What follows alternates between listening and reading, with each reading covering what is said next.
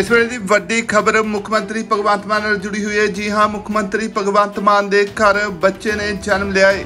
ਮੁੱਖ ਮੰਤਰੀ ਭਗਵੰਤ ਮਾਨ ਨੇ ਹੁਣ ਤੋਂ ਚੰਦ ਮਿੰਟ ਪਹਿਲਾਂ ਇੱਕ ਟਵੀਟ ਕਰਕੇ ਇਸ ਦੀ ਜਾਣਕਾਰੀ ਦਿੱਤੀ ਹੈ। ਮੁੱਖ ਮੰਤਰੀ ਭਗਵੰਤ ਮਾਨ ਨੇ ਟਵੀਟ 'ਚ ਲਿਖਿਆ ਹੈ ਕਿ ਵਾਹਿਗੁਰੂ ਦੀ ਕਿਰਪਾ ਨਾਲ ਉਹਨਾਂ ਦੇ ਘਰ ਬੇਟੀ ਨੇ ਜਨਮ ਲਿਆ ਹੈ। ਮੁੱਖ ਮੰਤਰੀ ਲਿਖਦੇ ਨੇ ਕਿ ਜੱਚਾ ਅਤੇ ਬੱਚਾ ਦੋਵੇਂ ਤੰਦਰੁਸਤ ਨੇ। ਜੀ ਹਾਂ, ਇੱਕ ਵਾਰ ਫਿਰ ਤੋਂ ਦੱਸ ਦਈਏ ਕਿ ਮੁੱਖ ਮੰਤਰੀ ਭਗਵੰਤ ਮਾਨ ਦੇ ਘਰ ਧੀ ਨੇ ਜਨਮ ਲਿਆ ਹੈ ਹੁਣ ਤੋਂ ਕੁਝ ਮਿੰਟ ਪਹਿਲਾਂ ਹੀ ਮੁੱਖ ਮੰਤਰੀ ਭਗਵੰਤ ਮਾਨ ਨੇ ਖੁਦ ਟਵੀਟ ਕਰਕੇ ਇਸ ਦੀ ਜਾਣਕਾਰੀ ਦਿੱਤੀ ਹੈ। ਦੱਸਿਏ ਕਿ ਮੁੱਖ ਮੰਤਰੀ ਭਗਵੰਤ ਮਾਨ ਦੇ ਧਰਮ ਪਤਨੀ ਡਾਕਟਰ ਗੁਰਪ੍ਰੀਤ ਬੀਤੀ ਰਾਤ ਤੋਂ ਫੋਰਟਿਸ ਹਸਪਤਾਲ ਵਿੱਚ ਭਰਤੀ ਸੀ ਅਤੇ ਹੁਣ ਤੋਂ ਚੰਦ ਮਿੰਟ ਪਹਿਲਾਂ ਹੀ ਉਹਨਾਂ ਦੇ ਘਰ ਧੀ ਨੇ ਜਨਮ ਲਿਆ ਹੈ। ਦੱਸਿਏ ਕਿ ਮੁੱਖ ਮੰਤਰੀ ਭਗਵੰਤ ਮਾਨ ਨੇ 26 ਜਨਵਰੀ ਨੂੰ ਜਨਤਕ ਤੌਰ ਤੇ ਐਲਾਨ ਕੀਤਾ ਸੀ ਕਿ ਉਹਨਾਂ ਦੇ ਪਤਨੀ ਡਾਕਟਰ ਗੁਰਪ੍ਰੀਤ ਕੌਰ ਬੱਚੇ ਨੂੰ ਜਨਮ ਦੇਣ ਵਾਲੇ ਨੇ ਅਤੇ ਮਾਰਚ ਮਹੀਨੇ 'ਚ ਉਹਨਾਂ ਦੇ ਘਰ ਖੁਸ਼ੀਆਂ ਆ ਸਕਦੀਆਂ ਨੇ।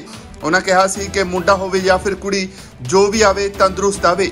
ਜਿਸ ਤੋਂ ਬਾਅਦ ਹੁਣ ਉਹਨਾਂ ਦੇ ਪਤਨੀ ਨੂੰ ਬੀਤੀ ਰਾਤ ਮੋਹਾਲੀ ਦੇ ਫੋਰਟਿਸ ਹਸਪਤਾਲ 'ਚ ਦਾਖਲ ਕਰਵਾਇਆ ਗਿਆ ਸੀ ਅਤੇ ਅੱਜ ਦੁਪਹਿਰ ਕਰੀਬ 12 ਵਜੇ ਉਹਨਾਂ ਦੀ ਪਤਨੀ ਨੇ ਬੇਟੀ ਨੂੰ ਜਨਮ ਦਿੱਤਾ ਹੈ। ਜੀ ਹਾਂ, ਇੱਕ ਵਾਰ ਫਿਰ ਤੋਂ ਦੱਸੀਏ ਕਿ ਮੁੱਖ ਮੰਤਰੀ ਭਗਵੰਤ ਮਾਨ ਦੇ ਘਰ ਤੋਂ ਖੁਸ਼ਖਬਰੀ ਆਈ ਹੈ। ਮੁੱਖ ਮੰਤਰੀ ਭਗਵੰਤ ਮਾਨ ਦੇ ਘਰ ਬੱਚੀ ਨੇ ਜਨਮ ਲਿਆ ਹੈ ਮੁੱਖ ਮੰਤਰੀ ਭਗਵੰਤ ਮਾਨ ਨੇ ਖੁਦ ਇਸ ਦੀ ਜਾਣਕਾਰੀ ਟਵੀਟ ਕਰਕੇ ਦਿੱਤੀ ਹੈ ਮੁੱਖ ਮੰਤਰੀ ਨੇ ਟਵੀਟ 'ਚ ਲਿਖਿਆ ਹੈ ਕਿ ਵਾਹਿਗੁਰੂ ਦੀ ਕਿਰਪਾ ਨਾਲ ਉਹਨਾਂ ਦੇ ਘਰ ਬੇਟੀ ਨੇ ਜਨਮ ਲਿਆ ਹੈ ਅਤੇ ਬੱਚਾ ਅਤੇ ਜੱਚਾ ਦੋਵੇਂ ਤੰਦਰੁਸਤ ਨੇ। ਇਹ ਵੀ ਦੱਸ ਦਈਏ ਕਿ ਬੀਤੀ ਰਾਤ ਡਾਕਟਰ ਗੁਰਪ੍ਰੀਤ ਕੌਰ ਨੂੰ ਮੋਹਾਲੀ ਦੇ ਫੋਰਟਿਸ ਹਸਪਤਾਲ ਵਿੱਚ ਦਾਖਲ ਕਰਵਾਇਆ ਗਿਆ ਸੀ। ਜਿਸ ਤੋਂ ਬਾਅਦ ਅੱਜ ਦੁਪਹਿਰ ਕਰੀਬ 12 ਵਜੇ ਉਹਨਾਂ ਨੇ ਬੱਚੇ ਨੂੰ ਜਨਮ ਦਿੱਤਾ ਹੈ bureau report, central Punjab TV.